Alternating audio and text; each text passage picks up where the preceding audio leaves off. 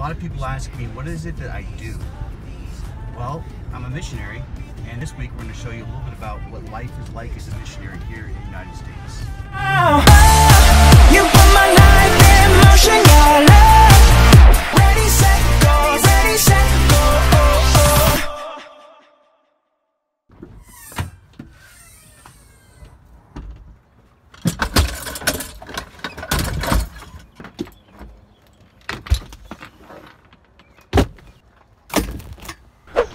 So today, Luke and I are out mowing uh, yards, and I do that at once or twice a week, and it helps me to earn um, money so that we can pay the bills at the end of the month.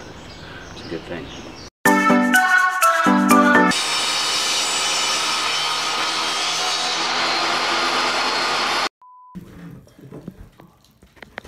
This is one guy, and he's like, He, he didn't do that at a flea market. Don't just. I wanted to come and stuff. Yeah. But Due to the private uh, nature of our discipleship, we can't really take you into our discipleship sessions, but here's a look at it. The main goal in discipleship is that each one of the guys learns to own their faith. And so we teach them the tenet, we teach them the tenets of the Christian faith, and we teach them how to study the Word of God for themselves. We also do a lot of weeding in the beginning, where they weed out willful sins.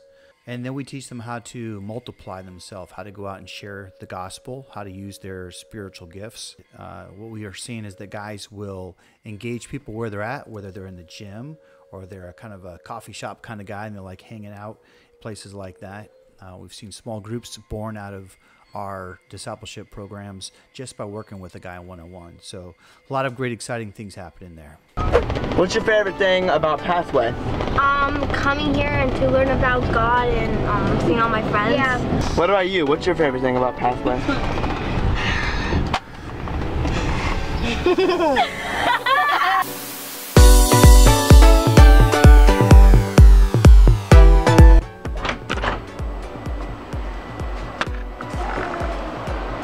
Airball.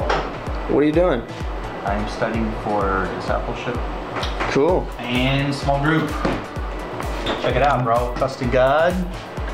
Awesome book. Um, me and Corey Guerrero going through this one. And it's about understanding God's sovereignty and His total control over everything. It's pretty sweet. And this one is about how to witness, like a real effective way of witnessing. And dude, if you people out there in YouTube land should buy this book, it's awesome. Um, it is about not only how to witness, but why it's important that each Christian is sharing their faith. And it's a super easy read too. I had to like stop myself from reading it in one sitting. So I'm bang this out this afternoon, and then we're gonna study it over this summer with our small group.